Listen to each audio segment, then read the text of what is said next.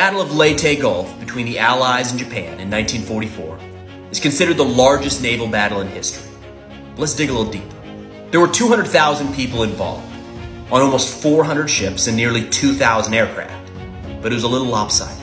The Allies had 34 fleet, light, and escort carriers against Japan's 4, 12 battleships against Japan's 9, 24 cruisers against Japan's 20, 166 destroyers against Japan's 35, and 1,500 aircraft against Japan's 3.